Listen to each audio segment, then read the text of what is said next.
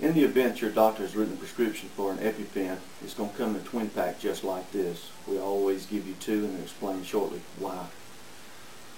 If you need your EpiPen, if you're having an anaphylactic reaction or a systemic reaction, an allergic reaction, it goes by several names, now's the time to act.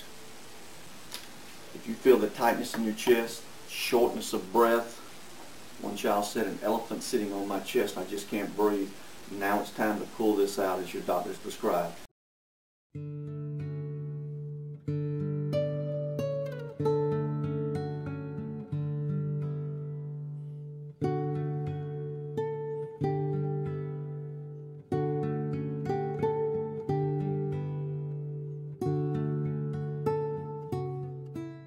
It's going to look just like this. Unscrew the yellow cap, bring it out into your hand, and there's only two instructions with this.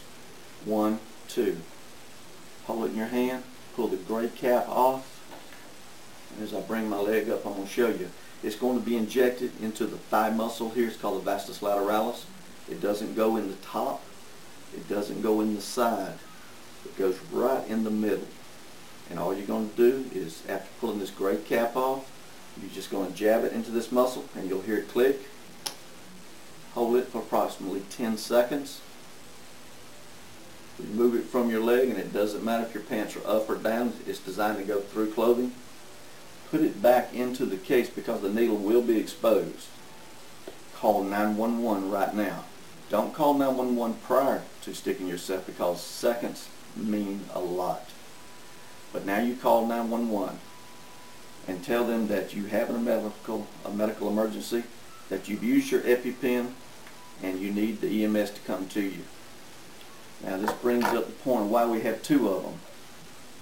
If the EMS has not come to you in about 20 to 30 minutes response time as they advertise, and you feel the tightness of your chest come back on you, you become diaphoretic, you're breaking out sweating, the elephant is sitting on your chest as a child says, and they still haven't come to your house to your rescue, you have a second dose. Again, you will unscrew it, pull it out into your opposite hand, hold it like a baseball bat, pull the gray cap off, and inject this into the opposite leg, not on the top, not on the side, but right in the middle with a quick jab. Wait for approximately 10 seconds, pull it out. Again, the needle will be exposed on your real needle.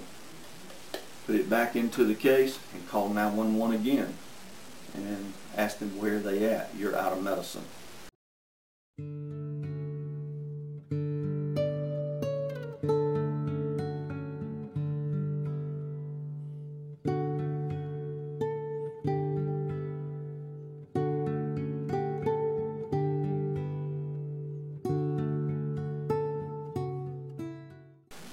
Extremely rare that anaphylaxis can come back on a person a third time, but it, it does happen. It's extremely rare.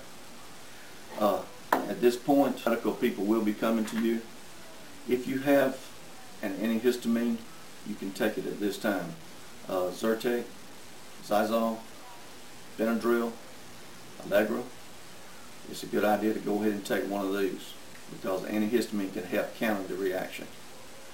If the emergency medicine people have not found you, you really need to get to the emergency room because there are other medicines that needs to be administered.